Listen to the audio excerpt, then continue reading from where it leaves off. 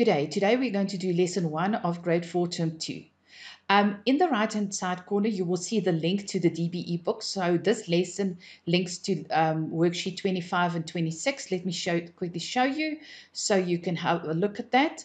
Um, let's go back to the lesson plan. Then the next section is the link to the CAPS document, to the curriculum document. Then we have the resources that we're going to use. There's always a did you know question. You can pause the video at any time and read that. Um, then we have the dictionary. The dictionary will then give us explanation of the words that we're going to use in this um, lesson.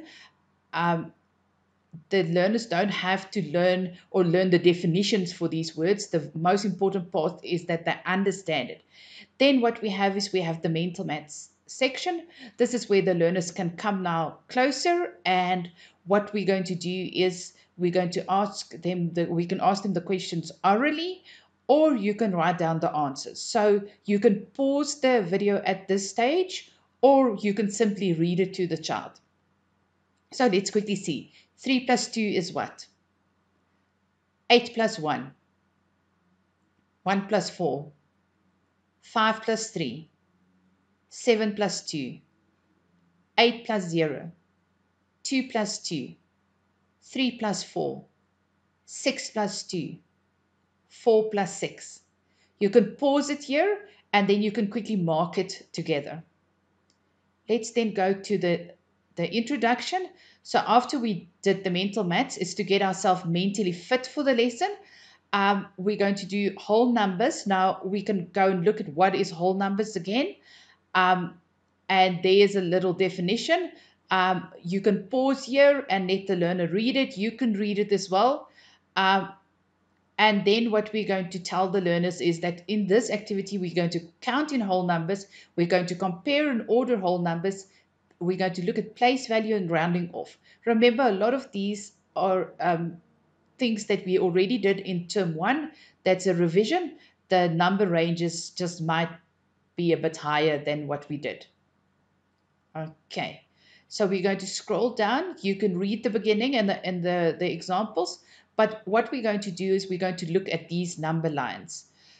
Now, each of these number line, there is a number circled. So we're going to look at the number that's circled and then we're going to ask the learner to tell us what is the number before and after. So let's quickly see. What number is before 2008?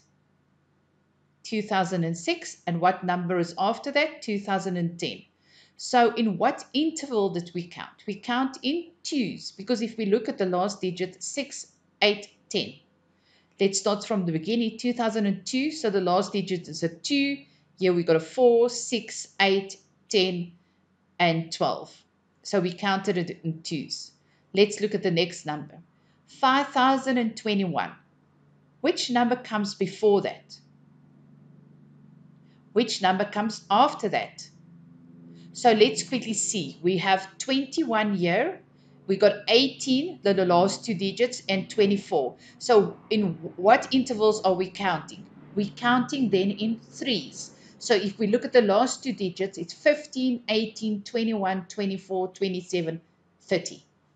So the next example then is the number that's circled is 9,785. Which number is before that? 9,780 or 9,790 is after that number. So if we look again at the last two digits, 55, 60, 75, 80, 85, 90, we see that we're counting in fives. Um, so that will also help us if we want, need to determine the number that comes after 9,790 so let's look at the next numbered line. The next numbered line is 8033. Let's look at the last two digits of each number. So here we got 23, 33, 43, 53, 63, 73. What is the difference between 23, 33, 43, 53? Yes, that's correct. The difference is 10. So we counted in intervals of 10. Let's look then at the next number line 7100. Which number is before 7075 and the number after that it's 7125.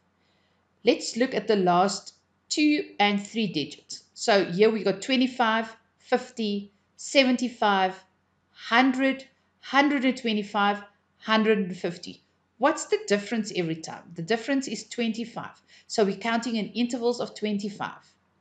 So let's look at the last one, 6,524. If we're going to look at the last two digits, they all remain the same. So what we need to do is we need to look at the last three digits.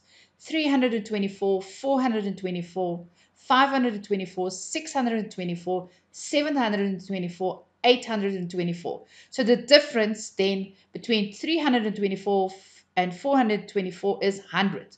So what we do here is we count in hundreds. Let's go to the next example. So the next example is example 2. So what I want you to do is, after I explain it, I want you to pause this activity and then answer the following. So what you do is you write one number and next to it you write the next number. Leave a bit of a space. And then what you're going to do is you place then a equals, bigger as or a smaller as between those two numbers. Do that about five times. So for instance, if I'm going to look at 5,377 and 5,376, 5,377 is bigger. So I'm going to use the bigger as. So the opening of the symbol shows to the number that is bigger. The smaller part shows to the side of the number that is smaller. Then what we're also going to do is you're going to take these numbers and you're going to write them in ascending and then descending order. So ascending means you're going to write these numbers from the smallest to the biggest. And descending after that, you're going to write it from the biggest to the smallest. Let's look at example number three. So example number three, we have numbers that are red and numbers that are blue. So if we look at all the numbers that are red, if we look at the last digit in this top row, we see it's one, two, three, four. But if we go down, we say, look at the first and the last two digits, 1, 11, 21, 31, 41. We see every time they end on a 1, here they end on a 2, here on a 3, and a 4, and so on. So what do we see? Which of these numbers are even numbers? That's correct. All the blue numbers. Which are the odd numbers? Yes, correct. Those that are in red. Let's go to example number four. Now, example number four, I quickly go and close the numbers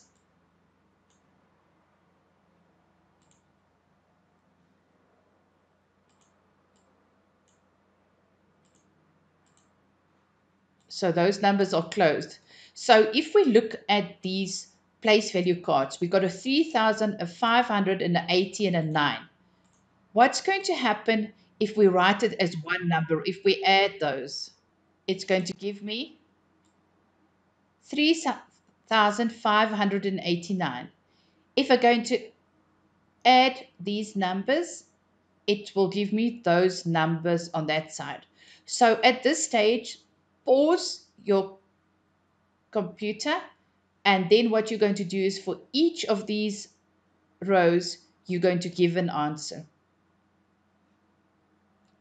Let's then go to example number five. So in example number five, we're going to revise rounding off. So here what we're going to do is we're going to, we need to round off four to the nearest 10. So the easiest way always is to ask between which number or which 10 is 4. So 4 is between 0 and 10. So anything from 4 and smaller will go to the smaller number and from 5 to 9 will go then to the bigger number. So between which 10 is 4. It's between 0 and 10. So if we round off 4 to the nearest 10, it will be 0. Let's look at the next one. Round 58 off to the nearest 10. So the question that I'm going to ask is, between which two tens will 58 be? So it will be between 50 and 60. Here is 58. So anything from 55 will be rounded off to the nearest 60. So 58 will be rounded off to 60. Let's look at the next question. Round 250 off to the nearest 100.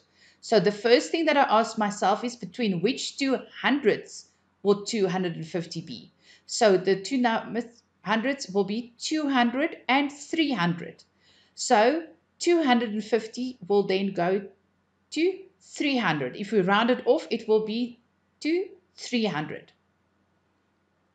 Round 635 off to the nearest 10. So the first thing is if we ask 635, we're going to ask between which two tens. Now look here. Between the tens is 630 and 640 just that small part. And then 635 will be exactly in the middle. And if we round it off, it will go to 640. But what if, if we ask to round off 635 to the nearest hundred? Then we ask the question between which two hundreds will 635 be? So it will be between 600 and 700. So if we got 635 here, it will be then rounded off to 600. The last one is 7,000. This is a bit of a more advanced question. So what we're going to ask is round 7,000 off to the nearest 10,000. So the first question again, between which two 10,000s will we find 7,000? It will be between 0 and 10,000. So there is 7,000 then. So if you round it off, it becomes then 10,000. So now we're going to start with our workbook activities. So firstly, you could use your DBE book and here are the, the worksheet numbers and the questions that you can do.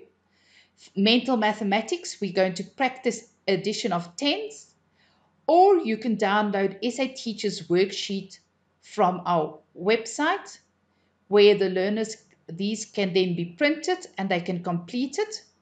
Then at the end of the lesson, we always have a problem solving. Don't skip this because what we try to do is we try to create learners that are be, that will become problem solvers. That's why we do mathematics. Then we have some extra activities. These are coming from old papers. ANA was an old test that learners always wrote, um, but it can come from all other um, like the Maths Olympiad, all type of questions that were previously asked and the way it's been asked, we will place here. Remediation is always if the child struggled a bit, here's an idea that you can do. Um, a lot of time we try to do it practically. You don't need fancy papers and cards. You can make this from scrap paper as well. Then parents and teachers, we come to the consolidation. With the consolidation, what you do is you're going to read each statement and say yes or no, can the child do or not? Yes will be good because then we can move on to the next lesson. No, you need to redo some of the activities, maybe using different methods, or you can always contact us as a teacher for any support. Thank you very much.